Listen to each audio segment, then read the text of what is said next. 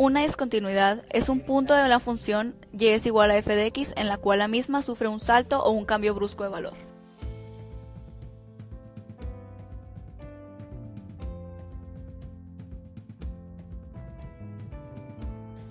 Discontinuidad evitable. Si una función tiene el límite en un punto, pero la función en este punto tiene un valor distinto, entonces límite de f de x cuando x acerca a es igual a l pero f de a no es igual a L.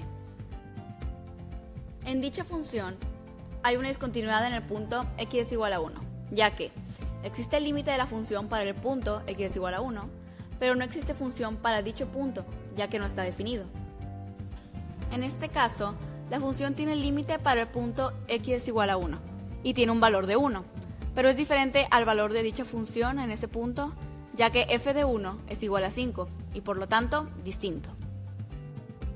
Discontinuidad de salto finito. Es cuando existe el límite por la derecha y por la izquierda de un punto. Ambas tienen un valor que es finito, pero esos valores no son iguales. En este ejemplo, el salto es finito, ya que el límite por la izquierda de la función es igual a 2 y por la derecha igual a 1. Por lo tanto, el salto es de 1, finito. En este caso, la función tiene un límite por la izquierda en el punto 0, con valor 2, mientras que cuando lo hace por la derecha, el valor es menos 1, dando como resultado un salto igual a 3, finito. Discontinuidad asintótica.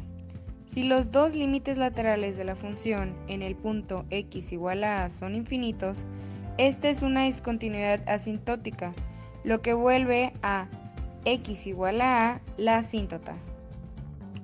En este ejemplo, el límite de la función cuando tiene al punto x es igual a 0 por la izquierda toma valor menos infinito, mientras que cuando lo hace por la derecha toma valor más infinito. En este ejemplo podemos observar que cuando x es igual a a por la izquierda tiene un valor de menos infinito y cuando x es igual a a por la derecha su valor será más infinito. Discontinuidad de segunda especie. Si la función no existe en uno de los lados del punto o no existe alguno o ambos de los límites laterales de la función, se dice que la función muestra una discontinuidad de segunda especie en ese punto.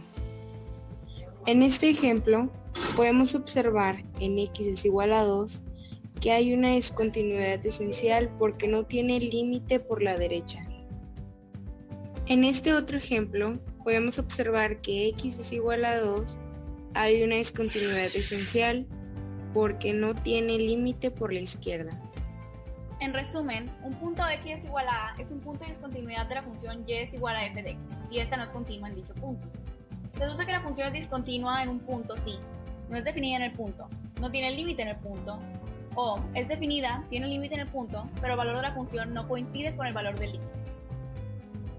Discontinuidad evitable. Es un tipo de discontinuidad en la que existe el límite y es infinito, pero el valor de la función es un punto, o no existe, o es diferente del valor del límite. Discontinuidad de segunda especie. Este tipo de discontinuidad sucede cuando no existe uno de los límites laterales o ambos. Discontinuidad de salto finito. A diferencia de las discontinuidades evitables, esta vez, al no ser iguales los límites laterales, no hay manera de poder conectar las dos ramas de la función. Discontinuidad asintótica. Este tipo de discontinuidad tiene ramas infinitas en el punto dado.